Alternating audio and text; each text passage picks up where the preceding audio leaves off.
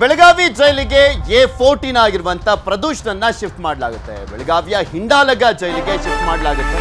ಜೈಲಿನಲ್ಲಿ ಈಗಾಗಲೇ ಅಗತ್ಯ ಸಿದ್ಧತೆಯನ್ನ ಕೂಡ ಮಾಡಿಕೊಳ್ಳಲಾಗಿದೆ. ಈಗ ಆಲ್ರೆಡಿ ನಾವು ಹೇಳ್ತಾ ಇದ್ವಿ ಪ್ರದೂಷ್ನನ್ನ ಬೆಳಗಾವಿ ಜೈಲಿಗೆ ಶಿಫ್ಟ್ ಮಾಡಲಾಗುತ್ತೆ ಅಂತ. ಆದರೆ ಪ್ರದೂಷ್ ಇವತ್ತು ಕೋರ್ಟ್ ಮುಂದೆ ಹಾಜರಾದಂಥ ಸಂದರ್ಭದಲ್ಲಿ ಬೇಡ ಅಂತೆಲ್ಲ ಕೇಳ್ಕೊಳ್ತಾ ಇದ್ರಂತೆ ಬಿಕಾಸ್ ನಮ್ಮ ತಂದೆಗೆ ಹುಷಾರಾಗಿಲ್ಲ ಹುಷಾರಿಲ್ಲ.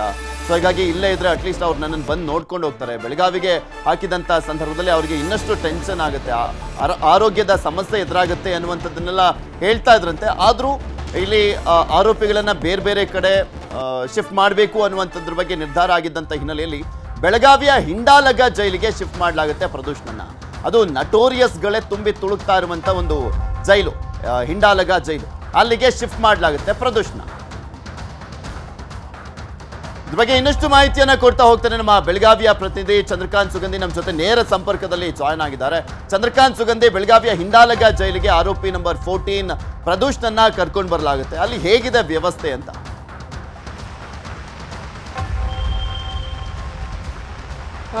ಪೃಥ್ವಿರಾಜ್ ಏನಂದರೆ ಪ್ರಮುಖವಾಗಿ ಬೆಳಗಾವಿ, ಹಿಂಡಲಗ ಜೈಲು, ಅತ್ಯಂತ ಕುಖ್ಯಾತರು ಇರ್ತಕ್ಕಂಥ ಒಂದು ಜೈಲು. ಈ ಒಂದು ಜೈಲು ಅಲ್ಲಿ ನಿರ್ಮಾಣಗೊಂಡು ಒಂದು ದಶಮಾನವೇ ಕಳೆದುಕೊಂಡಿದೆ. ಇವತ್ತು ಏನೋ ಈ ನಾಳೆ ನಾಳೆ ಒಳಗಾಗಿ ಈ ಆರೋಪಿ ಪ್ರದೂಷಣನ ಇಲ್ಲಿ ಕರ್ಕೊಂಡ್ ಬರ್ತಾರೆ ಅಂತಕ್ಕಂಥ ಮಾಹಿತಿ. ಇದಕ್ಕಾಗಿ ಜೈಲಧಿಕಾರಿಗಳು ಸಿದ್ಧತೆಯನ್ನು ಮಾಡಿದ್ದಾರೆ. ಸಾಮಾನ್ಯ ಬ್ಯಾರಿಕೇಡ್ನಲ್ಲಿ ಇರ್ಸಕ್ಕೆ ಈಗ ವ್ಯವಸ್ಥೆಯನ್ನು ಕೂಡ ಕಲ್ಪಿಸಲಾಗಿರ್ತಕ್ಕಂಥದ್ದು. ಜೈಲಿನಲ್ಲಿ ಅತಿ ಭದ್ರತಾ ವಿಭಾಗದಲ್ಲಿ ಮೂವತ್ತು ಕೊಠಡಿಗಳಿವೆ. ದರ್ಶನ್ ಬಂದ್ರೆ ಅಲ್ಲಿರಬೇಕಾಗಿತ್ತು, ಆದರೆ ಈಗ ಪ್ರದೂಷ್ ಬರ್ತಾ ಇದ್ದಾರೆ. ಹೀಗಾಗಿ ಈತನ ಸಾಮಾನ್ಯ ಕೊಠಡಿಯಲ್ಲಿ ಇಡಕ್ಕೆ ಸಿದ್ಧತೆಯನ್ನು ಮಾಡಲಾಗಿದೆ. ನಾನು ನೋಡ್ಬೋದು ನನ್ನ ಹಿಂಭಾಗದಲ್ಲಿ ಇದು ಹಿಂಡಲಗಾ ಜೈಲಿನ ಮುಖ್ಯ ದ್ವಾರ ಮುಖ್ಯ ದ್ವಾರದ ಮೂಲಕ ಏನು ಒಂದೇ ದ್ವಾರ ಇರತಕ್ಕಂಥದ್ದು ಪ್ರಮುಖವಾಗಿ ಈಗ ಸದ್ಯ ಏಳ್ನೂರ ಒಂಬತ್ತು ಜನ ಕೈದಿಗಳು ಈ ಒಂದು ಜೈಲಿನಲ್ಲಿದ್ದಾರೆ. ಅದರಲ್ಲೂ ಕೂಡ ಮರಣದಂಡನೆ ಶಿಕ್ಷೆಗೆ ಗುರಿಯಾದಂಥವ್ರು ಹತ್ತು ಜನ ಇದ್ರೆ, ಇನ್ನು ಮುನ್ನೂರಕ್ಕೂ ಹೆಚ್ಚು ಜನ ಜೀವಾವಧಿ ಶಿಕ್ಷೆಗೆ ಗುರಿಯಾದಂಥ ಕೈದಿರು. ರಾಜ್ಯದಲ್ಲಿ ಮರಣದಂಡನೆ ಶಿಕ್ಷೆಯನ್ನು ವಿಧಿಸಬಹುದಂತ ಜೈಲಾಗಿರ್ತಕ್ಕಂಥದ್ದು ಬೆಳಗಾವಿ ಒಂದೇ ಜೈಲು. ಹೀಗಾಗಿ ಮರಣದಂಡನೆ ಯಾರು ಶಿಕ್ಷೆಗೆ ಹೋಗ್ತಾರೆ ಅವರೆಲ್ಲರೂ ಕೂಡ ಬೆಳಗಾವಿಗೆ ಬರ್ತಾರೆ. ಈ ಹಿಂದೆ ವೀರಪ್ಪನ್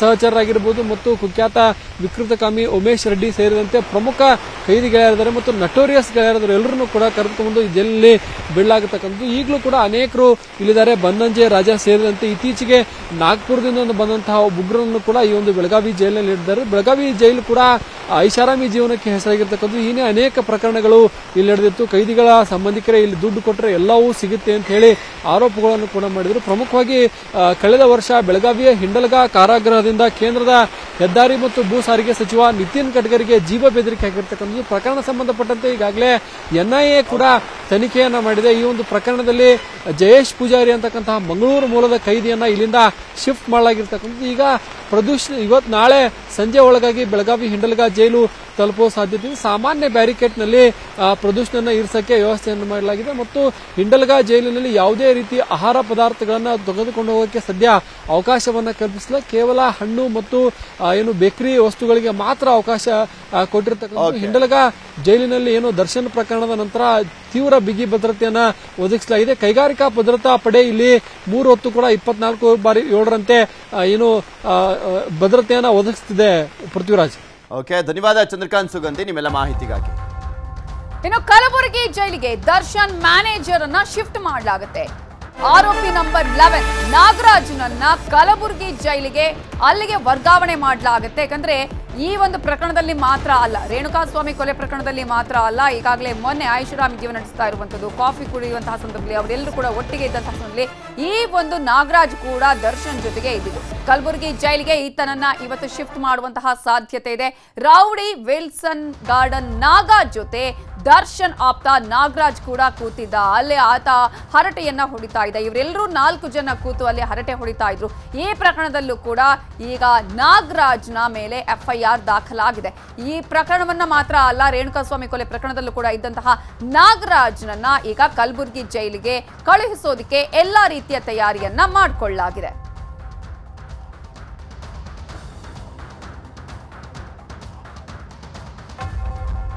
ಇನ್ನು ವಿಜಯಪುರ ಜೈಲಿಗೆ ವಿನಯ್ನನ್ನ ಇಂದು ಶಿಫ್ಟ್ ಮಾಡಲಾಗುತ್ತೆ. ದರ್ಶನ್ ಆಪ್ತ ಧೋನಿ ಗ್ರೂಪ್ನ ಮಾಲೀಕ ವಿನಯ್ನನ್ನ ವಿಜಯಪುರ ಜೈಲಿಗೆ ಶಿಫ್ಟ್ ಮಾಡಲಾಗ್ತಾ ಇದೆ ಸ್ವಾಮಿ ಕೊಲೆ ಕೇಸ್ನ ಆರೋಪಿ ನಂಬರ್ ಟೆನ್ ವಿನಯ್ ಆತನನ್ನ ವಿಜಯಪುರ ಜೈಲಿಗೆ ಶಿಫ್ಟ್ ಮಾಡಲಾಗ್ತದೆ. ಈ ರೀತಿಯಾಗಿ ಪ್ರಮುಖ ಆರೋಪಿಗಳು, ಈ ರೇಣುಕಾ ಸ್ವಾಮಿ ಕೊಲೆ ಪ್ರಕರಣದಲ್ಲಿ ಮೇನ್ ಆರೋಪಿಗಳು ಅಂದರೆ ಅದು ಒಂದು ದರ್ಶನ್, ಅದಾದ್ಮೇಲೆ ವಿನಯ್, ನಾಗರಾಜ್, ಪ್ರದೋಷ್ ಈ ನಾಲ್ಕು ಜನ ಕಾಣಿಸ್ತಾರೆ. ಸೊ ಈ ನಾಲ್ಕು ಜನನು ಕೂಡ ಬೇರೆ ಬೇರೆ ಜೈಲುಗಳಿಗೆ ಶಿಫ್ಟ್ ಮಾಡಲಾಗ್ತಾ ಇರುವಂಥದ್ದನ್ನು ಗಮನಿಸ್ತಾ ಇದ್ದೀವಿ. ಇವತ್ತು ರಾತ್ರಿ ಒಳಗಡೆ ಶಿಫ್ಟ್ ಮಾಡುವಂಥ ಸಾಧ್ಯತೆ ಇದೆ, ಇಲ್ಲಾಂದರೆ ಡಿಲೇ ಆದರೆ ನಾಳೆ ಶಿಫ್ಟ್ ಶಿಫ್ಟ್ ಮಾಡುವಂಥ ಸಾಧ್ಯತೆ ಇರುವಂಥದ್ದು. ಬಿಕಾಸ್ ಇನ್ನೂ ನಿರ್ಧಾರ ಆಗಿಲ್ಲ ಟೈಮಿಂಗ್ಸು ಯಾವಾಗ ಶಿಫ್ಟ್ ಮಾಡಬೇಕು ಅನ್ನುವಂಥದ್ರ ಬಗ್ಗೆ. ಒಟ್ಟಿನಲ್ಲಿ ಎಲ್ಲೆಲ್ಲಿಗೆ ಶಿಫ್ಟ್ ಮಾಡಬೇಕು ಅನ್ನುವಂಥದ್ರ ಬಗ್ಗೆ ನಿರ್ಧಾರ ಮಾಡಿದ್ದಾರೆ ಅಷ್ಟೇ, ಬಟ್ ಯಾವಾಗ ಶಿಫ್ಟ್ ಮಾಡಬೇಕು ಅನ್ನೋದು ಇನ್ನೂ ಕೂಡ ನಿರ್ಧಾರ ಆಗಿಲ್ಲ. ವಿಜಯಪುರಕ್ಕೆ ವಿನಯ್ ಆದರೆ ಕಲಬುರಗಿಗೆ ನಾಗರಾಜನನ್ನ ಶಿಫ್ಟ್ ಮಾಡಲಾಗ್ತದೆ, ಬೆಳಗಾವಿಗೆ ಪ್ರದೂಷ್ನನ್ನು ಶಿಫ್ಟ್ ಮಾಡಲಾಗ್ತದೆ, ಬಳ್ಳಾರಿಗೆ ದರ್ಶನನ್ನ ಶಿಫ್ಟ್ ಮಾಡಲಾಗ್ತದೆ.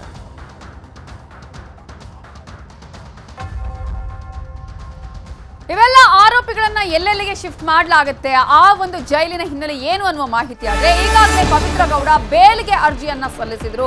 ಅದರ ವಿಚಾರಣೆ ನಿನ್ನೆಯಿಂದ ನಡೀತಾನೆ ಇದೆ. ನಿನ್ನೆ ಕೂಡ ಪವಿತ್ರ ಗೌಡ ಅವರ ವಕೀಲರು ವಾದವನ್ನ ಮಂಡನೆ ಮಾಡಿದ್ರು. ಇವತ್ತು ಎಸ್ ಪಿ ವಾದವನ್ನ ಮಂಡನೆ ಮಾಡಿದ್ದಾರೆ. ಈಗ ಆಗಸ್ಟ್ ಮೂವತ್ತೊಂದಕ್ಕೆ ಪವಿತ್ರ ಗೌಡ ಬೇಲ್ ಭವಿಷ್ಯ ನಿರ್ಧಾರ ಆಗುತ್ತೆ ಅನ್ನುವ ಮಾಹಿತಿ ಲಭ್ಯ ಆಗ್ತಾ ಇದ್ದು.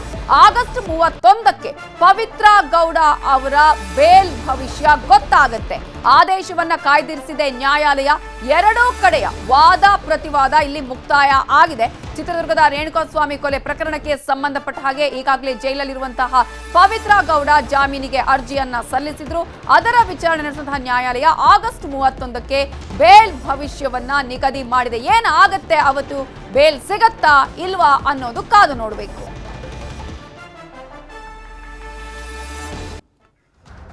ನೋಡ್ತಾ ಇದೀವಲ್ಲ, ಇವತ್ತು ಶಿಫ್ಟ್ ಮಾಡುವಂತ ಸಾಧ್ಯತೆ ಇದೆ. ಇಲ್ಲಾಂದರೆ ನಾಳೆನೂ ಕೂಡ ಶಿಫ್ಟ್ ಆಗುವಂತ ಸಾಧ್ಯತೆ ಇರುವಂಥದ್ದು. ಬಿಕಾಸ್ ಕಾನೂನು ಸುವ್ಯವಸ್ಥೆ ಅದರ ಜೊತೆಗೆ ಭದ್ರತೆಯ ಆಧಾರವನ್ನು ಎಲ್ಲವನ್ನೂ ಕೂಡ ಮೇಯ್ನ್ ಆಗಿ ನೋಡಿಕೊಂಡು ಪೊಲೀಸರು ಶಿಫ್ಟ್ ಮಾಡ್ತಾರೆ. ಅದರ ಜೊತೆಗೆ ಮೂರು ಎಫ್ ಐ ಆರ್ ದಾಖಲಾಗಿತ್ತು. ಅದರಲ್ಲಿ ಎರಡು ಎಫ್ ಐ ಆರ್ ಅಲ್ಲಿ ದರ್ಶನನ್ನ ವಿಚಾರಣೆ ಮಾಡಲಾಗಿದೆ. ಬಟ್ ನಾಗರಾಜನನ್ನ ಇನ್ನೂ ಅದರಲ್ಲಿ ವಿಚಾರಣೆ ಮಾಡಿಲ್ಲ. ಸೊ ಹೀಗಾಗಿ ಆತನನ್ನ ವಿಚಾರಣೆ ಮಾಡಿದ ಬಳಿಕ ಶಿಫ್ಟ್ ಮಾಡ್ತಾರೆ. ಕಾದ್ ನೋಡ್ಬೇಕಾಗಿದೆ. ಸೊ ಏನಾಗತ್ತೆ ಯಾವಾಗ ಶಿಫ್ಟ್ ಮಾಡ್ತಾರೆ. ಯಾವ ರೀತಿಯಾಗಿ ಭದ್ರತೆಯನ್ನ ನೀಡಲಾಗುತ್ತೆ ಅನ್ನೋ ಸಂಪೂರ್ಣ ಮಾಹಿತಿಯನ್ನ ಅಪ್ಡೇಟ್ಸ್ ನಾವು ಕೊಡ್ತಾ ಹೋಗ್ತೀವಿ.